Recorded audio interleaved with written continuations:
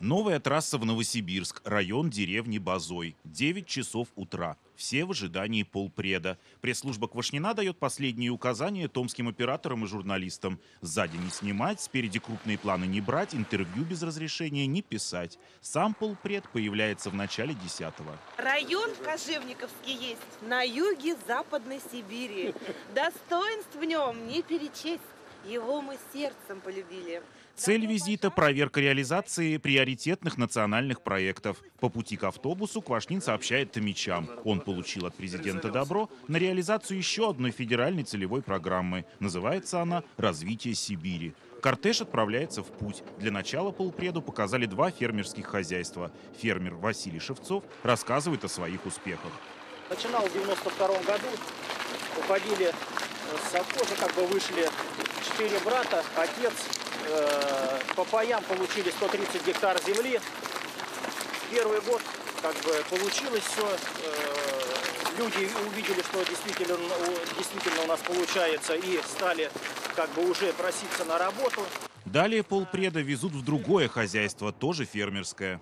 Полпреду, несомненно, показывают только лучшие хозяйства. В этом, например, у фермера Владимира Селихова работает более 100 человек. Средняя заработная плата 5000 рублей. Это зимой. А летом здесь получают в 4 раза больше. Этому хозяйству нынче 15 лет. Основной профиль – зерно. Сейчас у этого фермера почти 11 тысяч гектаров земли. Рабочие на перебой говорят о своем благополучии. Нормально. Не то, что нормально, отлично. До этого, пока Селихова не было, уже загибались. Не было ни зарплаты, люди забивались. Вот, поддержал три деревни, работу дал.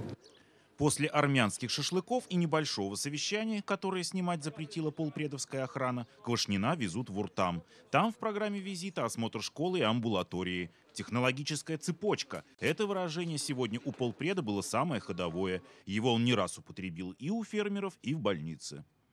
Вот вы должны четко представлять э, в целом э, всю вашу на основе прав и обязанностей всю технологическую цепочку. Вот вас... Далее Квашнин собственноручно нарисовал схему, как надо работать по-новому.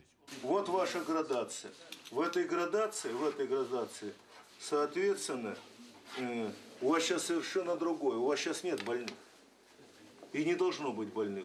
Как пояснил потом полпред, вместо больных должны быть граждане. То есть, имел в виду Квашнин, надо проводить профилактику, а не ждать, пока болезнь проявится. Предупредительно-профилактическая работа. Выявление болезни на ранней стадии у гражданина. Именно выявление у гражданина.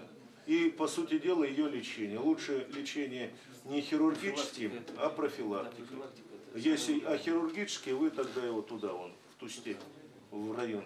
Но так вот, исходя из этого, у вас должна быть э, технологическая цепочка вашей этой структуры. А еще сегодня в амбулатории Квашнин подверг резкой критике правительства и, в частности, министра Зурабова. Эту больницу, как оказалось, президентская программа фактически не затронула. Здесь до сих пор нет необходимого количества компьютеров, автомобилей, а зарплаты медикам с начала этого года выросли всего на 8%.